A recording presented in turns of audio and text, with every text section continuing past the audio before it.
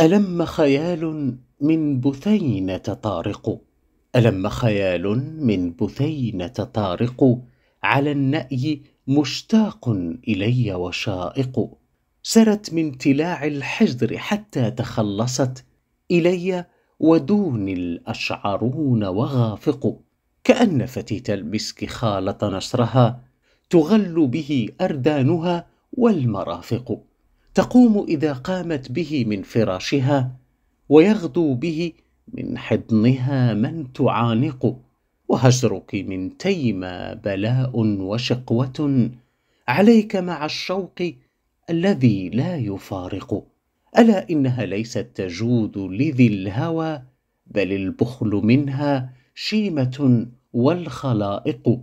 وماذا عسى الواشون أن يتحدثوا سوى أن يقولوا إنني لك عاشق.